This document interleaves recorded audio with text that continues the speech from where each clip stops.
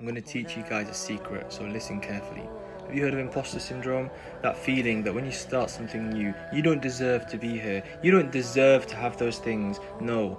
Well, I'll tell you what. I have read a lot of biographies and I've observed a lot of famous people who have succeeded in a lot of ways, and I've realized that imposter syndrome doesn't exist in those people in the same degrees it exists for us. Why is that? It's because when they take a step in a certain direction, their mindset completely changes. It becomes a mindset of now I have gone in a certain direction, I am that person who has already reached that goal. What does that mean?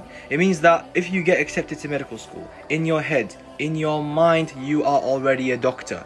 All you lack is the time and the skills to actually make you one, but you are really a doctor. And this thinking has helped me a lot when it comes to imposter syndrome, especially when it comes to revising OSCEs and clinical skills.